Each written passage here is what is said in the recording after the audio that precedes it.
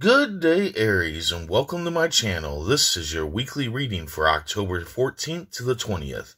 If you're new here, welcome. If you're coming back, welcome back. I hope you're all doing well, and I hope this reading resonates with you. Universe Speak, Spirit's Guide. What needs to be known, what lessons need to be learned. Ooh, three of clubs. Oh.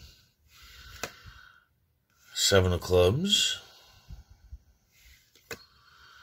Ace of diamonds. And the Joker. Okay, so your general energy is the Joker. Um, a leap of faith. Yeah, you got you got a positive risk ahead of you. It's a leap of faith. So you don't know exactly what the outcome is going to be, and you won't know the outcome uh, no matter what you do. You won't know the outcome of this. Um, but the sun here in the corner is telling you to go forward. You know, it is a positive risk. So, regardless of what happens, right? Regardless what happens uh, with this risk that you can take in front of you, it can be a new uh, a new relationship, a new job, a new uh, place to live. It could be all of the above. Um, regardless how it turns out, like say it doesn't work out, uh, something positive will come from that. You know what I'm saying? So there there is positivity no matter what. Um, and all you can do is plan and prepare, right? Plan and prepare for the good outcome, plan and prepare for the bad outcome, right? Uh, but the card is saying to take that leap of faith, to take that risk uh, in front of you. Now, the weight here is his past uh, holding him back, and he's looking back. So you're looking back. You're you're questioning if you should go forward, and that that past can be also uh, an old relationship or uh, a job that you're leaving to go to this new job or whatever. It can be anything like that, and you're questioning it. But the sun says, no, go forward. Go forward. Leave this past behind. Uh, there's nothing left here for you in the past there's new opportunities in front of you. So definitely take that risk. Uh, just, uh, you know, um, plan and prepare uh, for good or bad. But don't try to figure out, you know, how it can be good or how it can be bad because you'll drive yourself mad with scenarios. At the beginning of the week, you got the three clubs, uh, the trump card. This is the trump card. This is fame, fortune, absolute success it trumps all the cards on the table. It says that all the cards on the table will work out just fine. So you will most likely leave your past and go towards this future. Um, fame, uh, that's just, people are going to idolize you this week. They're going to idolize you. They're going to look up to you. Uh, they're going to look towards you for answers and all that good stuff. They're going to see you as a movie star or, or a rock star. That's how they're going to see you is they're going to be that idolized by you, right? Fortune does that mean that you're going to become rich? Uh, not necessarily. Uh, most likely not. Uh, what it does mean is that you're going to be financially stable when it comes to this week and you might have an increase in your abundance you know? Um, i would definitely say especially if you take this leap of faith okay I feel like you will have uh, extra financial abundance if you take this leap. Uh, a lot of you, I do feel like this is a job uh, and that you should go forward. Uh, I feel going forward is also going to bring you bring on that fame, that idolization uh, of other people. So definitely take that leap of faith. Um, in the middle of the week, uh, you have the seven of clubs, snakes in the grass. So there are snakes in the grass either a couple or a group of people uh, who are out, you know, out to get you pretty much. I mean, not to make you paranoid or anything, but they they don't want to see you achieve anything. And this could be your past. These people could be from your past, and they see what the future is for you and they see that it's bright. They see the fame, fortune, the absolute success, and they don't want you to have that. So they're either going to confuse you in love or sabotage your work, okay? So be very careful who you listen to. Um, hello, kitty.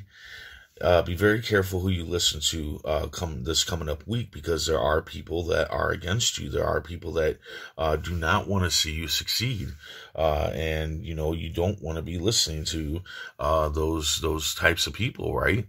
Uh, so be very careful. It would be a group of people or a couple, right? That's what you're looking for when it comes to these snakes in the grass. so just be careful who you listen to. At the end of the uh, week, you have the Ace of Diamonds. Good news. So good news is coming in. That's going to lead to new success.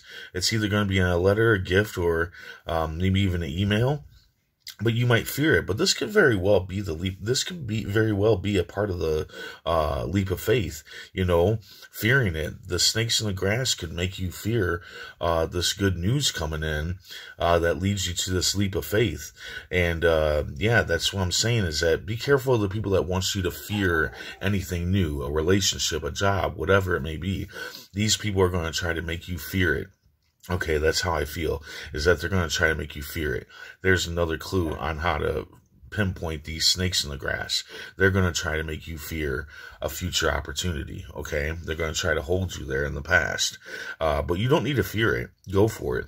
Uh, also, a lot of times, like say this is a new job or something, right? Uh, and you're fearing it because you're not for sure if you're qualified for it. Well, don't worry about that. You can learn as you go, right? A lot of times in life, we learn as we go. Uh, most of the time, we learn as we go.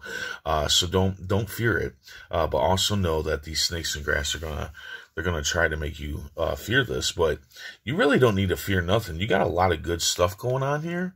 Okay. A lot of good stuff going on here. So I wouldn't worry too much about these snakes and grass. I would just keep um, your faith in the stuff that you got going on in your life uh, and not worry about what other people are saying around you.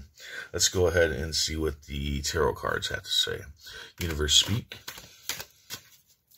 Spirit's Guide what needs to be known, what lessons need to be learned. Okay, so you got the Five of Swords here, and in the Five of Swords, this man is picking up the weapons uh, from a from a, a, battle that they that his side has lost, and returning them back to the uh, army. Now he's looking around, trying to figure out how did they lose this battle. You know, he's trying to uh, surmise how. What did they do wrong so that they don't do the same thing again, right?